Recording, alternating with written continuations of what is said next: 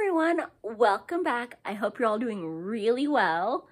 And if not, I hope you at least had some good books to, you know, escape into. And hopefully I can help you with that today. Because I've got a messed up one for you. Like, if y'all haven't figured out by now, I love, like, fairy tales and Disney. And so I found the perfect messed up series.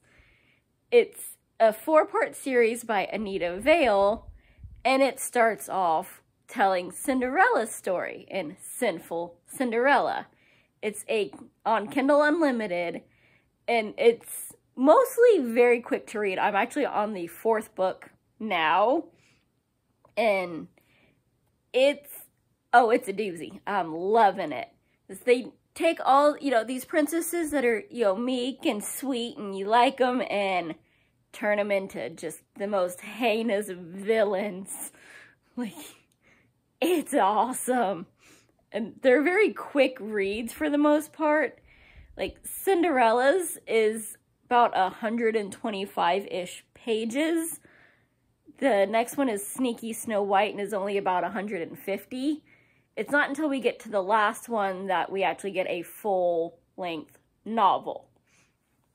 So, Sinful Cinderella stars, you guessed it, Cinderella, who, admittedly, she's never been my favorite anyway. The whole be a meek servant and just look beautiful and then some guy will come and save you. And your life will be perfect so long as you're okay being married to a man that doesn't know what you look like. You can't even just go with hair color that has every girl in the whole kingdom try on a shoe. So you better have very notable feat. yeah.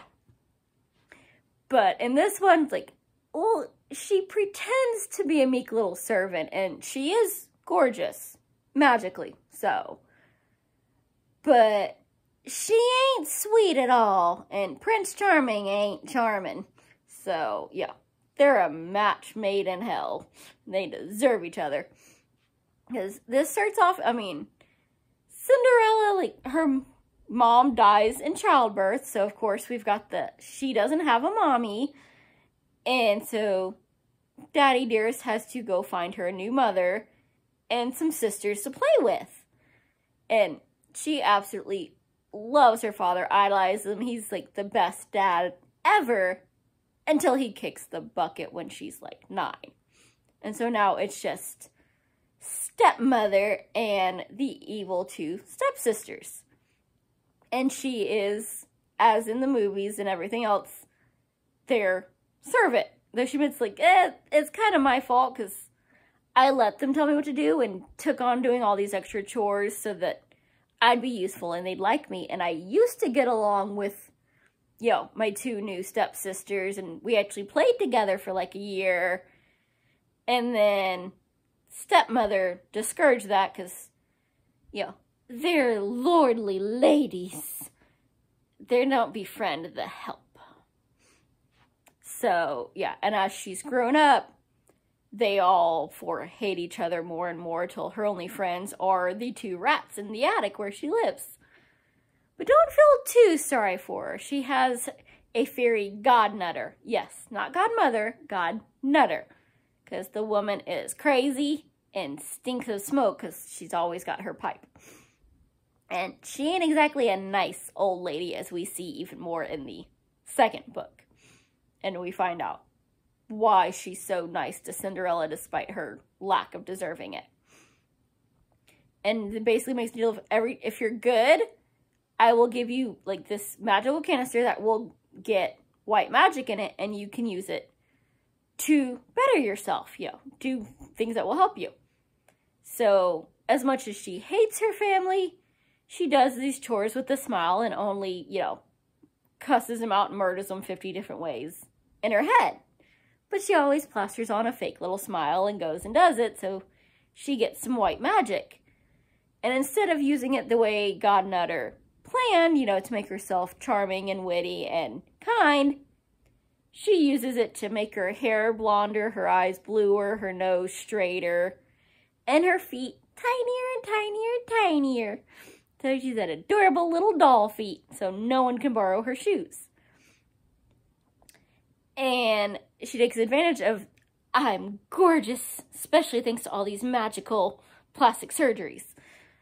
So that all the men in town want her, despite that it's already gross enough that the legal age is 16 and she ain't there yet. But she's already hooked up with pretty much every husband in town. So she doesn't exactly have any friends because you hooked up with my husband or you hooked up with my dad. So every woman hates her guts. And all the guys do what she says because she's pretty and they don't want her to get mad and tell their wives who pretend that they don't know. So, yeah.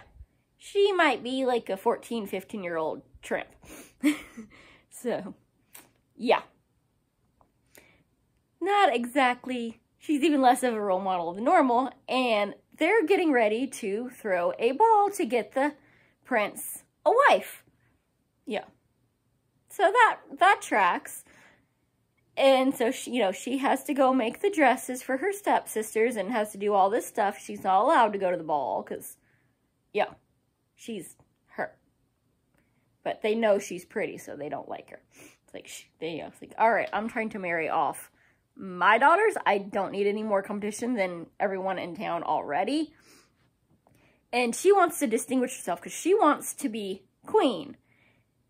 And, which, I'd pretend that's noble, except for she admits she's going to be the evil queen. That's it. Like, that's, like, what's the point of being queen if you can't tell everyone to do what you want or kill them.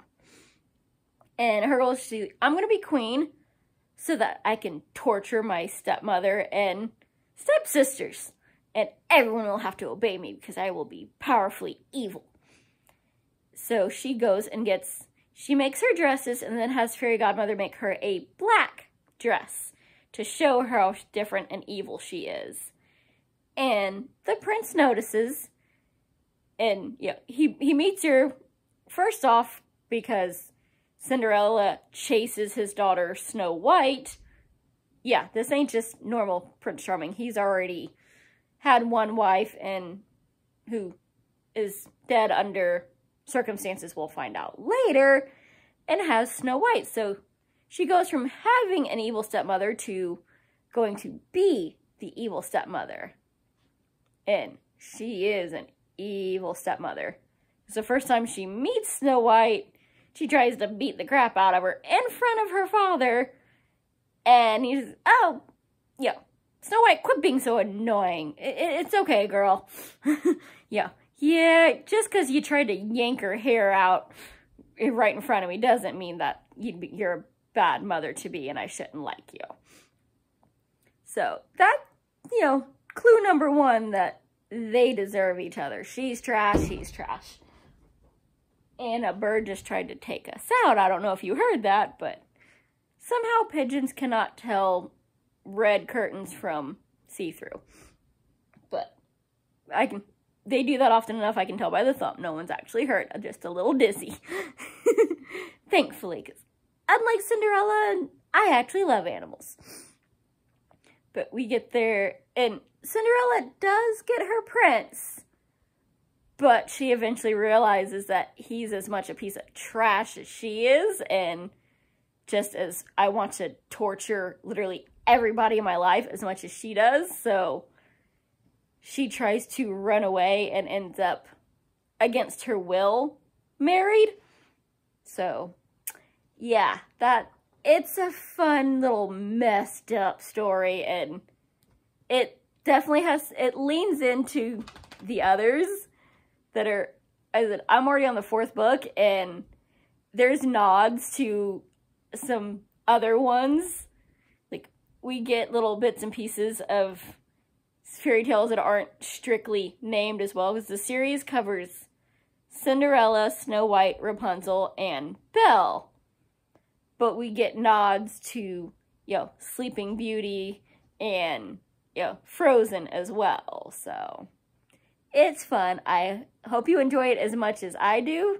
Go check that one out and have a great day. Bye. Happy reading.